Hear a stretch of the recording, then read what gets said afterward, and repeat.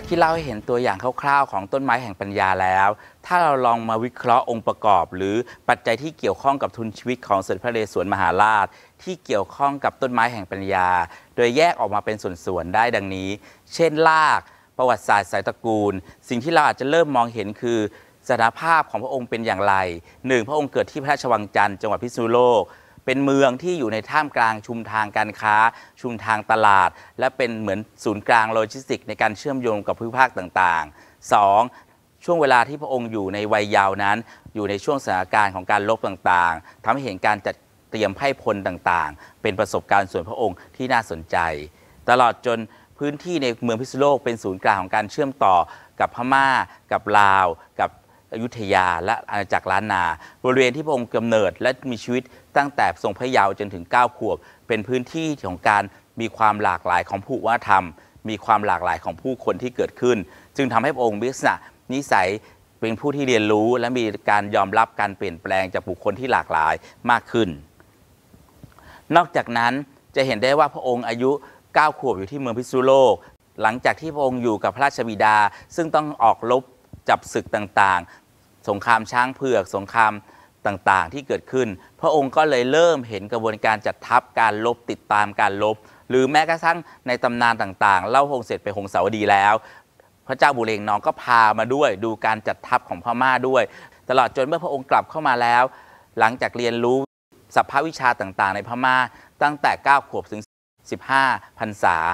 จากช่วงเวลา 5-6 ปีที่องค์อยู่ที่พม่า ก็เรียนรู้ทั้งการลบดาบคู่การขี่ม้าการขึ้นหลังช้าง ภาษาต่างประเทศ ภาษาไทยตำราพิชัยสงครามของพม่าและจีนขณะเดียวกันเมื่อพระองค์กลับมาแล้ว พระองค์ก็ศึกษาตำราพิชัยสงครามตำราของคนไทยตำราของชาติต่างๆ ที่เกี่ยวข้องในประเทศไทย แล้วก็จัดกระบวนการลบ จัดรูปแบบการลบโดยนำความรู้ต่างๆ ประสาน และรวบรวมกับ วัยรุ่นต่างๆ กลุ่มหนุ่มสาวต่างๆ ในเมืองพิษณุโลกกว่าหมื่นคน เพื่อจะฝึกอาวุธต่างๆ เป็นกองกำลังพิเศษของพระองค์ ในการจะขับเคลื่อนกองทัพออกไป อันนี้คือรากฐานที่น่าสนใจของพระองค์ เส้นทางชีวิตของพระองค์จะเห็นได้ว่าตั้งแต่พระชันษา9ถึง16 พระชันษาอยู่หงสาวดีนะครับหลังจากนั้นพระองค์ก็ขึ้นครองราชในช่วงอายุ 35 ถึง 49 ปี ช่วงเวลานี้เองก็เป็นช่วงเวลาที่องค์ต้องปราบ ทั้งศึกจากพม่าผึกพยาละแวก แล้วก็การติดต่อการค้ากับตอนตกจีนญี่ปุ่นเกาหลี ติดต่อกับฮอลันดา สเปน แต่ที่น่าสนใจ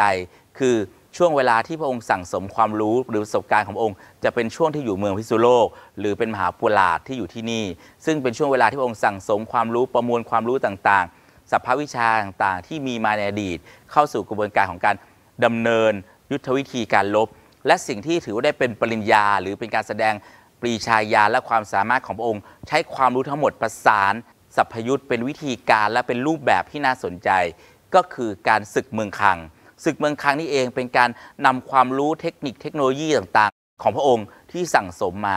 เข้าไปสู่ในการลบที่ศึกเมืองคัง จากเหตุการณ์ต่อมาการประกาศเอกราชปืนข้ามแม่น้ำสโตง เหตุการณ์ที่ริมแม่น้ำสโตงจะชี้เห็นเลยว่าพระองค์ใช้เทคโนโลยีคือการใช้ปืน ซึ่งมีเข้ามาในสังคมไทยพระองค์เรียนรู้เรื่อง เทคโนโลยีจากชาติตะวันตก หลังจากนั้นเมื่อพระองค์ขึ้นครองราชแล้ว พระองค์ก็มีการวางระบบระเบียบราชการแผ่นดิน โดยเฉพาะการใช้เรือติดต่อการค้าทั้งเรือสำเภาและเรือเร็ว เรือเล็กที่จัดการกับพื้นที่ราบ ลุ่มแม่น้ำเจ้าพยาภาคกลาง ซึ่งมีความแตกต่างจากลุ่มแม่น้ำน่านตอนบนพระองปรับเปลี่ยนยุทธวิธีการลบปรับเปลี่ยนกำลังคนปรับเปลี่ยนวิธีการลุกจากอยู่ภายในประเทศไปสู่นอกประเทศ จากการที่ต้องอาศัยอยู่ในกรุง เป็นจุดตั้งรับกลายเป็นออกเป็นลุกอยู่รัศมีเดินได้ 2 วัน รอบกรุงศรีอยุธยา ตั้งแต่อ่างทองสิงห์บุรีสุพรรณบุรี แล้วก็ให้กองทัพพม่าเมื่อข้ามเทือกเขาตะนาวศรีลงมา ก็ต้องเจอกับการรับศึกครั้งใหญ่ทันทีของกรุงศรีอยุธยา พระองค์จะไม่รอเวลาไม่รอเรื่องของการตั้งรับ แต่เป็นผู้บุกใช้ยุทธวิธีของการบุกอย่างรวดเร็ว เพื่อจะแก้ปัญหาต่างๆ ที่เกิดขึ้น สิ่งเหล่านี้เนี่ยไปว่าเป็นเส้นทางชีวิตและประสบการณ์ของพระองค์ ที่น่าสนใจมาก ความเป็นมาของตระกูลของพระองค์ก็มีความน่าสนใจ คือพระองค์สืบเชื้อสายจากพระราชบิดา ซึ่งเป็นกษัตริย์สุขโขทัยเป็นขุนนางสุขโขทัยสืบเนื่องยาวนานกันมา จนมีเครือข่ายญาติวงศ์แล้วก็พันธมิตรต่างๆ ทั้งกำแพงเพชร สุขโขทัยพิชัยต่างๆ ที่เป็นเครือญาติของพระองค์ขณะเดียกันพระองค์ก็รู้ทำนบธรรมเนียมประเพณี เข้าใจจิตวิทยาของการบริหารงานของราชอาณาจักรอยุธยา สิ่งที่เป็น สายตระกูลหรือประสบการณ์ที่พระองค์มี ซึ่งแตกต่างจากคนอื่นก็คือหนึ่งพระองค์เข้าใจจารีตประเพณีธรรมเนียมปฏิบัติรูปแบบของราชอาณาจักรอยุธยา ที่เป็นรัฐขนาดใหญ่ มีการปกครองจากบนลงล่าง มีการสั่งการมีการควบคุมกำลังคน แต่ขณะเดียวกัน พระองค์เข้าใจระเบียบแบบแผนของความเป็นหัวเมืองขนาดเล็ก หรือเป็นเมืองอุปราชและเป็นเมืองที่รับศึก เช่นพระราชบิดา การ ซื้อใจคนรวบรวมกำลังใจการร่วมรบ ร่วมสามัคคีกตัญญูรักแผ่นดิน ปกป้องดินแดนตัวเอง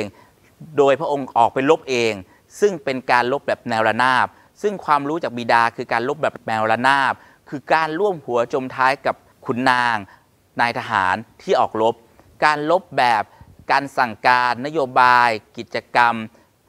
การวางแผนกลยุทธ์การลบแบบแนวตั้ง คือการสั่งการจากบนลงล่าง แบบกรุงศรีอยุธยา ก็ถูกสอดประสานภายใต้การเรียนรู้ของพระราชบิดาและพระราชมารดา และสายตระกูลของสองพระองค์ทำให้พระองค์มีประสบการณ์ความรู้ที่น่าสนใจที่เป็นรากฐานที่หล่อหลอมความเป็นมาของพระองค์ ตรงนี้เห็นได้เลยว่าส่วนรากจะช้อนให้เห็นหนึ่งพระองค์เป็น